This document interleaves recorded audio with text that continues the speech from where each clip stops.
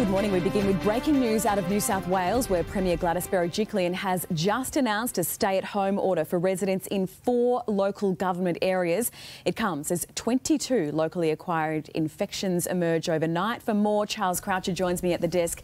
Charles, take us through these new restrictions. New restrictions just announced by the Premier, Lizzie, the ones affecting uh, the, the, the, harshest of the lockdowns, and we, the Premier went to great stakes not to say lockdown, but this is effectively lockdown for those four local government areas. They are Woollahra, Randwick, the City of Sydney and Waverley and those instructions to stay home are in place until next Friday. They are focusing, there are a handful of reasons people can leave their homes. They are if they have to work or be educated outside of the home. It's not possible to do it from home. That is permitted.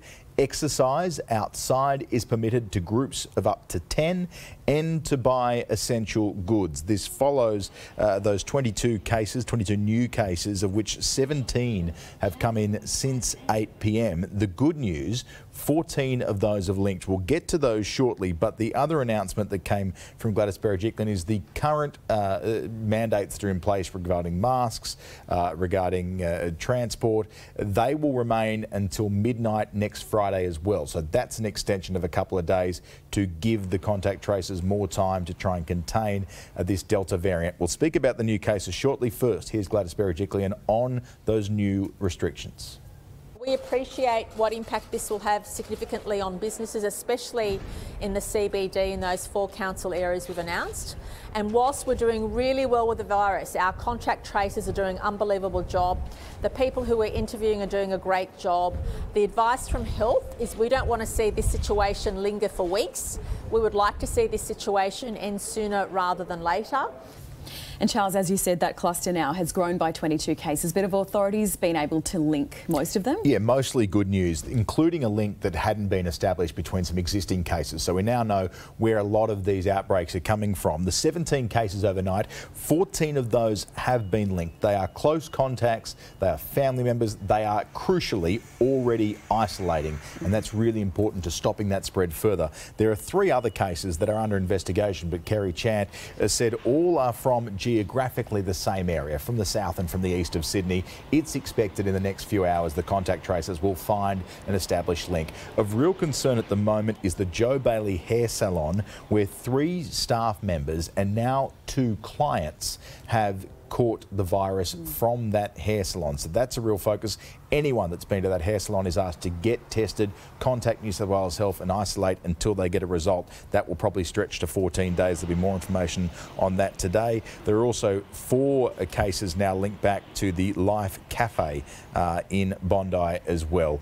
Uh, Gladys Berejiklian uh, spoke about the need to really clamp down on this. The good news, though, and it seems like everyone seems almost happier today, despite the numbers being higher than mm. they were yesterday, is that more and more of those mystery cases are being snuffed out. There are lots of links. The big thing, though, this time around is that it's spreading whilst at home in family members. Previously, one, perhaps two people that were living with the case would get it. Now it seems so many more are getting it, and that's what's got health authorities concerned. But the lockdowns are happening. So there'll be more places. There's going to be thousands of people that are going to have to go into these isolate or get tested. That's going to have happen in the coming days. Mm. The good news for now, though, is that the tracers have done their work. They know where they are and look to be uh, putting a ring around the outside of these cases mm. so far. And those lockdowns until at least next Friday. Correct. Thanks, Charles. Well, as the health authorities race to stop the spread of the virus, the city's list of exposure sites grows. These pictures are from a Potts Point cafe in Sydney's CBD. Deep cleaning taking place late last night. New South Wales Health has added new venues of concern in Double Bay, Bondi and Bondi Junction. And it doesn't stop there. Exposure sites now sprawl into Sydney's southwest. That is where we'll find reporter Hayley Francis this morning in Casula. Hayley, which areas are caught up in this? Good morning, Lizzie. Well, unfortunately, it includes Casula, which, as we know, is no stranger to COVID 19 outbreaks after the Crossroads Hotel outbreak around this time last year, which rose to nearly 60 cases of COVID 19. Now, just down the road from there, this Homemaker Centre, which is made up of several major furniture shops, they've now been listed as having been visited by a person with COVID 19. They came here on Sunday. Now, the time of concern is between 1.30 2.20 and 2.30. They went to Freedom, Fantastic, Amart and Supreme Furniture. Anyone who visited these places at this particular time is now considered a close contact. Those people uh, must get tested immediately and self-isolate regardless of the test result. Now we spoke to some locals earlier to see how they're feeling about all of this. Take a listen. The numbers were going down and now it's going back up and then it just starts all over again. And we just like started to get our freedom. We had our freedom at one stage, we were happy and now it's happening all over again. You know, it's just a bit of a downfall pretty much, so we're not happy about it really. Now, Gregory Hills has also emerged as an area on the watch list. A uh, the town centre there, which includes the Woolworths and bakery, they were also visited by a person with COVID, a shopper on Sunday afternoon. Other locations include Bankstown Amart Furniture, Domino's Pizza at Merrylands, as well as a burger shop, Big Bun, and Kmart at Parramatta. Wednesday morning, the feared exposure time there.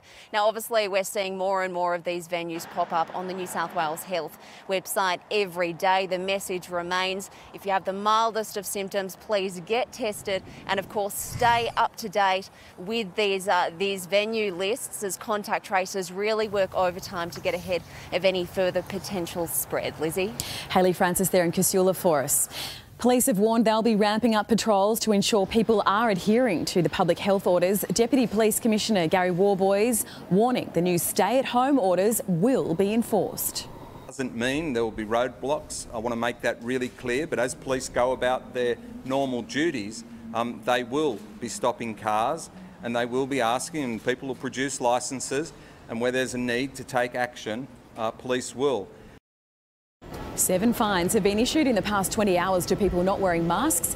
Liquor and gaming inspectors are also on the beat today to ensure venues and businesses across the city are up to date on their COVID safe plans and check-ins.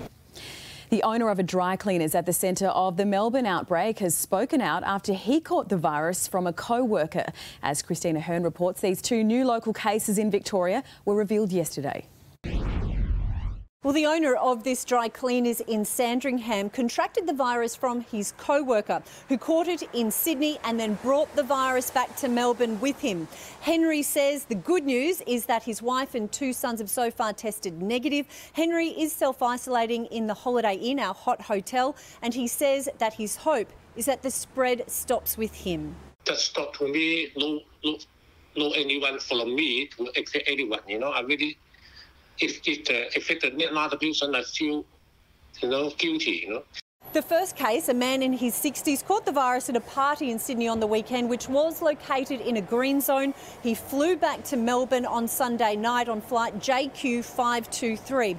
As a result of all of this, more than a dozen exposure sites have been added overnight. They include supermarkets, convenience stores, and also train and bus routes.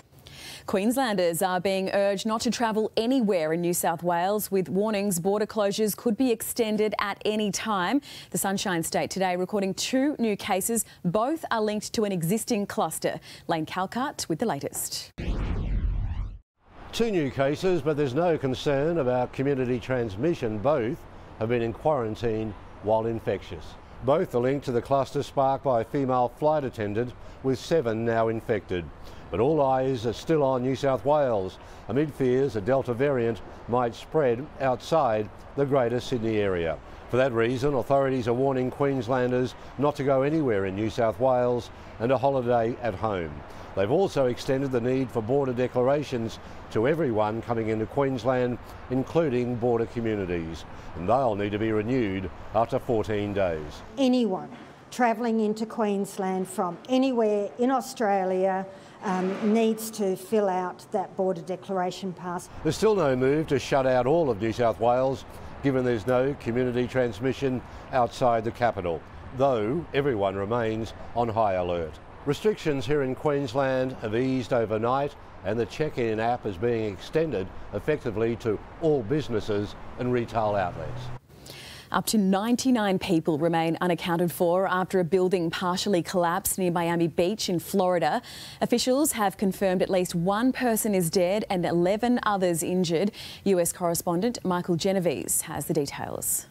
This is the moment 55 apartments collapsed on each other around 2 a.m. local time. 12 stories gone in about 12 seconds. Many of the residents were asleep at the time. Under layers of cement and dust, search crews are now looking for life. I can only imagine how many people were, were in their apartments either sleeping or watching TV or just whatever, just, just living, living their lives. From the rubble, firefighters pulled survivors to safety. They've got resources like you can't believe here. We've got the dogs, we've got the equipment, and we're going to do our very best to save as many people in that pile of rubble as we possibly can. I just started seeing people in the balconies with the flashlights of their phones asking for help. They were like desperately uh, yelling. One by one, remaining residents were removed using cherry pickers. The apartment complex was built 40 years ago, overlooking Miami's famous beachfront. Bunk beds, last night inside a bedroom, are now seen from the street. I found out that my nephew was here with the wife and three small children. The rescue effort is expected to take days.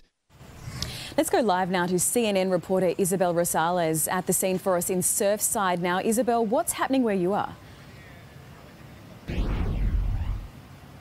Yeah, hey Lizzie, this is going to be a grueling and long night for first responders. Uh, right now, there's about 30 firefighters there that are working in about 15 minute shifts. Um, and the reason for that is that they're carrying such heavy equipment, about 80 pounds of protective equipment and tools, anything and everything that they could need to help find these 99 people that are unaccounted for.